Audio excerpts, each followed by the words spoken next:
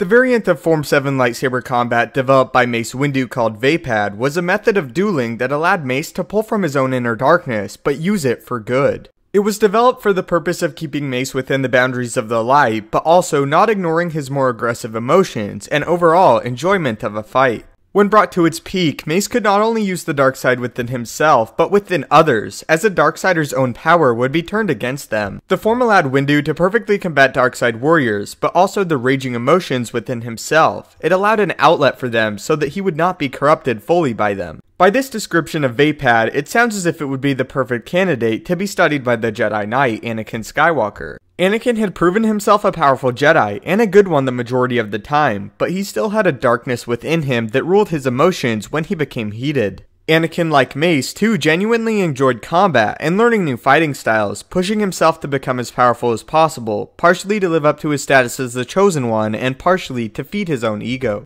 But Vaapad came with one key hangup that made Mace Windu very weary of the potential of the form. Not only potential when it came to overwhelming an enemy, but the potential for it to corrupt a user fully. The danger of Vaapad came because it required a user to embrace the dark side, but not let it alter their own souls. This made the practice extremely deadly. In order to use Vaapad, a practitioner must open the door to the darkness and step through the threshold, but they must also anchor themselves to the light. If that anchor were to break or even sway, the user of the form could be lost forever. When originally developing the form, Windu believed it was difficult to master, but that it could be done. Windu in fact did not create the form alone, he did so with the aid of the Jedi Master, Sora Bulq. Windu, though, would truly grow weary of the form after Bulq turned to the dark side, and became a servant of Count Dooku. Bulq then attempted to use Vaapad whilst fully under the power of the dark side. When dueling Windu, he commented to him that he had now fully mastered the form, and that the key missing component was a user's own darkness, and allowing it to corrupt them.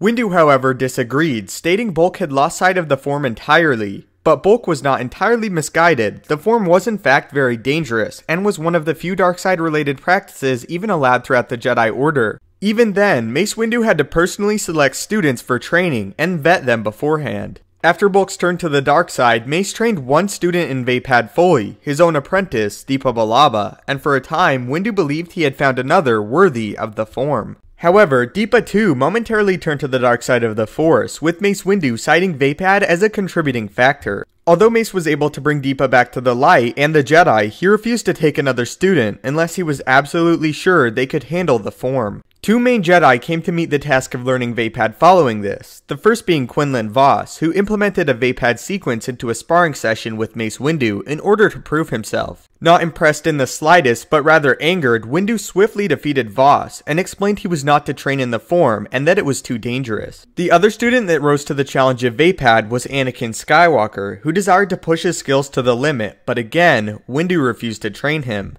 Windu saw Skywalker already dance too closely to the darkness, and that Vaapad could be the thing that fully turned him. These comments only really served to anger Anakin, which really proved Windu's point, with Obi-Wan telling Anakin later he could still become a great Jedi without using Vaapad. Ultimately, Windu was absolutely correct. The greatest muscle in use while using Vaapad was the mind, and it required one's stance in the Force to be set. Windu never desired to turn to the dark side, he just recognized darker emotions within himself and chose to master them rather than be a slave to them. In the end, he was able to push past his normal limits, not only tapping into his own darkness, but the darkness of his opponents during battle. That said, Vaapad only reached its peak a single time. In Windu's duel with Darth Sidious, the Jedi Master came into conflict with a being so corrupted by the dark side that the form was fully achieved, as even doubt in the dark within an opponent could upset the form. Only against Sidious was Mace able to flawlessly execute Vaapad, and it has been suggested against any other adversary the form could never reach the limits it did on that day.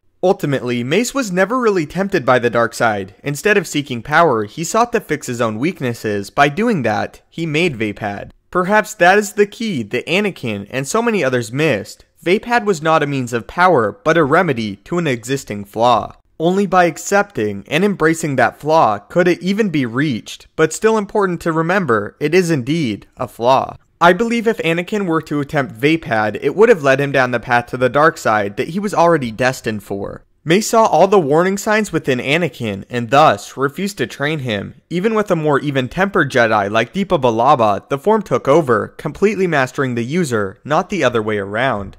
If Anakin had attempted it, he likely would have ended up like Sora Bulq, or how he did anyway, just much quicker. So that is the explanation as to why Mace Windu refused to teach Vaapad to Anakin Skywalker. So tell me what you think. Do you think Anakin could have mastered Vaapad, and do you disagree with me, and why? Also, I would like to hear characters that you think could potentially master Vaapad besides Mace Windu. I'd love to hear some of your theories. If you have any video suggestions, feel free to leave them in the comments below or tweet them at me at StupendousWave. If you enjoyed the video, please leave a like as it helps the channel out a great deal and I really appreciate it. If you haven't already, maybe consider subscribing to ensure you stay up to date with everything Star Wars related. Thanks again as always for watching, may the force be with you, and have a great day.